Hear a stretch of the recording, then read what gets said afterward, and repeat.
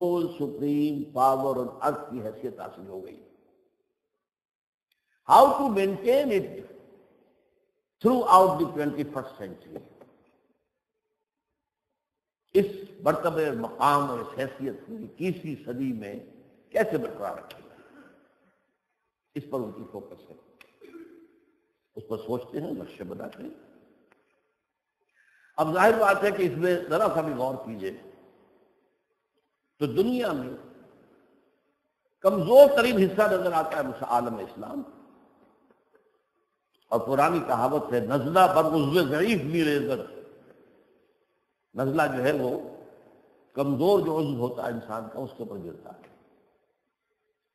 यही वजह आलम इस्लाम को काउंटर करने का उनका प्रोग्राम है। उसका नक्शा भी अलहदा बना देंगे, अपनी सलाहियत, अपनी मफादात के मुताबिक नक्शों पर नक्शे इशू हो रहे हैं। ग्रेटर बलोचिस्तान बनाएँगे, ग्रेटर कुर्दिस्तान बनाएँगे। एक अरब शिया स्टेट बनाएँगे, अलहदा। वगैरह वगैरह, ये मैं तस्वीर नहीं जाना चाहता। ये पहली बात, उनकी पॉलिसी की जो बड़ी कड़ी है उनकी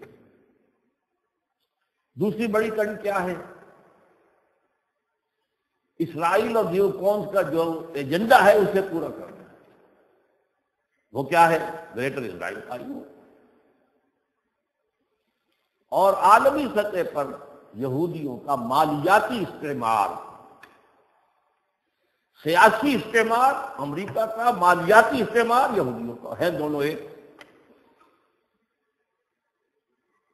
नंबर तीन, थर्ड टेंपल की तामीर जिसके लिए ज़ाहिर बात है कि मस्जिद अक्सा को गिराना होगा और दो वक्त रॉक को गिराना होगा। इसकी तरफ़ पेश कर दी अब इसमें देखिए, लड़ी नहीं है ये मैं भी बयान कर रहा हूँ, लेकिन साथ के साथ तस्करा कर दूँ। इराक पर हमला किस लिए था? माली वसाइल, तेल के वसाइल पर कब्जा और extension of Israel first extension first step toward greater Israel Iraq Sharon record पर है कि उसने कह दिया था, जैसे ही सद्दाम की हुकूमत खत्म हुई अनकरीब इराक पर हमारा कब्जा होगा तीसरी पॉलिसी का उनका मेन जो थ्रेड है वो क्या है? इस्लाम बहसियत निज़ाम कहीं उभर लेना पाए। सूरज शुरू हो जाएगा तो तारीखी तो खत्म हो जाएगी। सारा ये इबलीसी निज़ाम। वो जो इबलीस की मजलिस शूरा में, इबलीस का एक मुशीर कहता है, इसमें क्या शक है कि मोहकम है ये इबलीसी निज़ाम? क्यों घबरा रहे हैं आप? क्या आपको तशवीश हो गई है? ये इबलीसी निज़ाम जो हमने कायम किया, वो दुनिया में बड़ा मज़बूत है। एक मुशीर कहता, नहीं, तुम्हें पता नहीं है जमहूरियत आ गई है दुनिया में, अब हमारी इबलीसियत तो खत्म हो जाएगी। वो कहता, पागल हो गए, जमहूरियत तो हमने खुद बनाई है। इंसानी हाकमियत एक शब्द की बजाय आवाम में बांट दी। कुहर तो यूँ है कुहर है शिर के हमने खुद शाही को है जमहूरी लिबास। जब जरा आदम हुआ खुद सला से कर दिया दूसरे ने कहा कि हाँ ये तो ठीक है, लेकिन ये तो कम्युनिज्म आ गया तो क्या होगा ये? तोड़ दी बंदों ने आकाओं के खेमों की तादाद। इब्लीस कहता है, कब डरा सकते हैं मुझको इस तरह से पूछा कर? ये परेशान, रोज़गार आशुस्ता मगज आशुस्ता हो, इनसे कुछ नहीं होगा।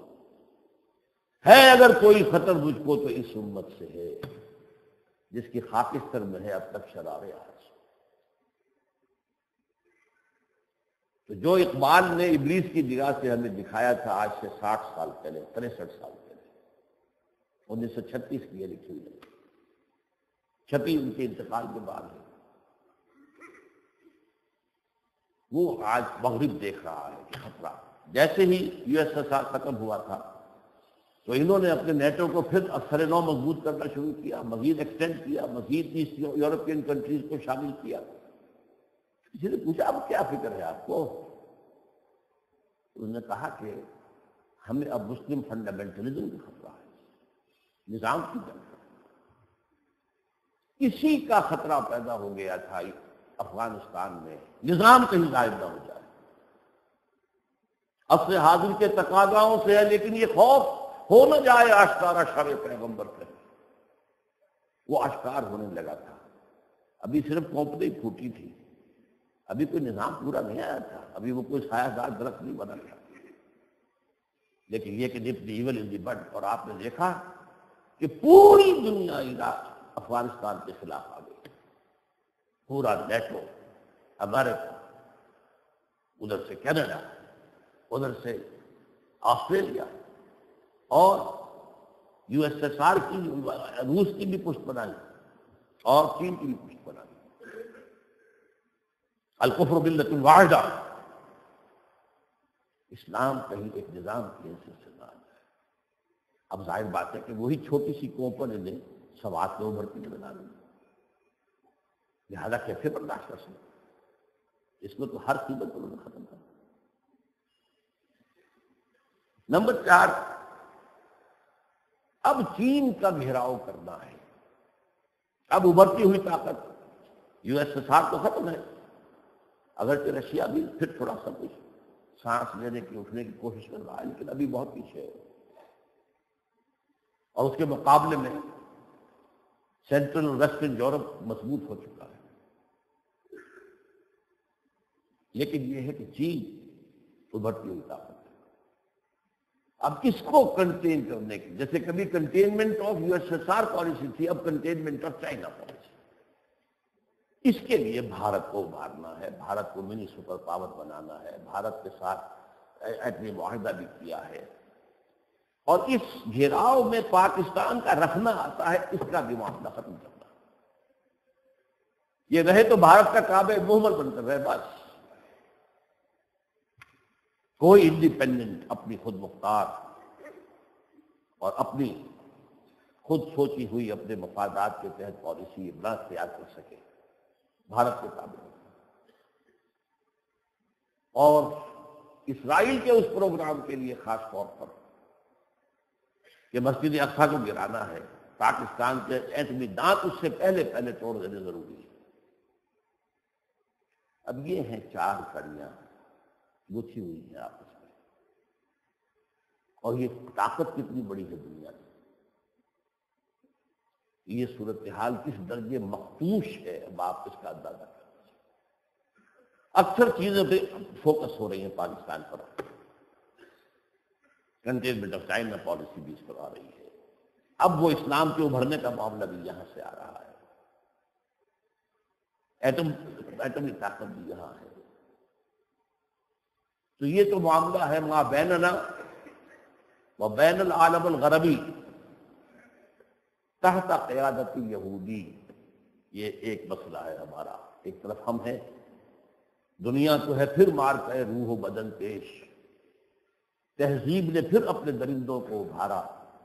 अल्लाह को पावर दिए मोमिन पे भरोसा। इबलीस को यूरोप की मशीनों का सहारा।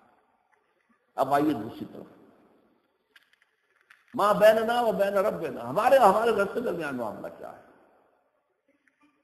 खुली बात है। हमने अपने रब से वादा खिलाफी की। उससे किए हुए अहद को तोड़ा। उससे दुआएँ मांग मांग कर पाकिस्तान लिया और मोजाना तौर पर लिया। किसी को जरा भी शक हो इसमें जो मेरी किताब पढ़े इसने काम है पाकिस्तान। दो और दो चार की तरह मैंने साबित किया, ये खालिश मौजूदा था। किसी हिसाब किताब में आता ही तो अल्लाह का एक फितरत है सुन्नतुल्लाह है, फितरतुल्लाह है। कोई कौम ये कहे, अल्लाह, ये कर दे तो हम ये ये मामला करेंगे तेरे साथ। अल्लाह कहता, ठीक है, मैं तुम पर हुज्जत कायम करता हूँ, लो तुम ये। फनंजुरा कैसा काम तामलून, फिर देखेंगे तुम क्या करते हो, वादा पूरा करते हो नहीं करते हुआ हमने वादा खिलाफी की नतीजे में हम पर सूरह तौबा की आयात के मुताबिक इज्तमाही और अमूमी मुनाफिकत मुसलत कर दी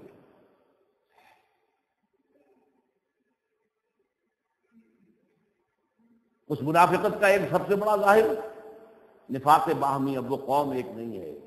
अब बलोच अलहदा है पुश्तून अलहदा है। अब एक और ताज़ा धमकी आई है, सरायकी वालों की तरफ़ से भी करीब अगर तुमने हमें सरायकी सुबह अलहदा न दिया तो हम तहरीक शुरू कर देंगे। अब तो ज़ाहिर बात है जब चल पड़ी हो तो फिजा तो सभी अपने, अपना लुच तलने के लिए तैयार रहते अब वैसे भी उनका हक है कोई उनका इनकार नहीं कर